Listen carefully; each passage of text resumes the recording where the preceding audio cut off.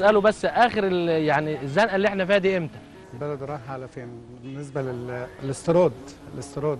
هل هيفضل موقوف كده ولا هنشتغل ولا هنعمل إيه؟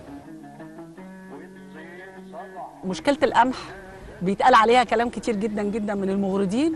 يا ريت نطلع نوضح للناس مخزون القمح عندنا يكفينا قد إيه وإحنا لما يخلص المخزون ده البديل إيه ويبقى واضح وصريح. هل ال- الأسعار دي آه، هتفضل تعلى ولا ولا هتثبت؟ وبالنسبه للديون هل إحنا الديون دي آه، هنقدر نسددها بال- بالمشاريع وبالمدن اللي بتحصل؟ البطالة دي هتفضل موجودة كتير يعني مطولة معانا. أنا واحد عن نفسي مش لاقي شغل. هقول له إيه خطتك عشان خاطر المنتج المصري يبقى يبقى مالي مصر كلها.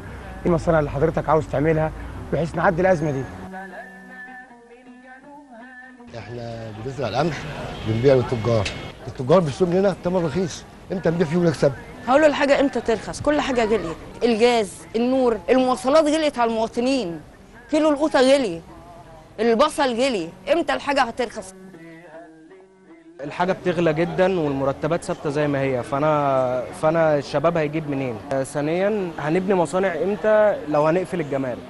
يعني بخصوص مجال السياحة بما إننا شغالين في المجال فنحب نشوف الخطة الواضحة اللي هتكون الفترة الجاية للتطور في مجال السياحة بالنسبة للعاملين والمنشآت. هو كان واخدها الأول وقع ودلوقتي الحمد لله أحسن بكتير. أنا من جنة. أنا أنجبت بعد 45 سنة. هل هو ابني اللي أنا خلفته بعد العمر ده اطمن عليه. أنا عايز ابني هو اللي اللي اطمن عليه.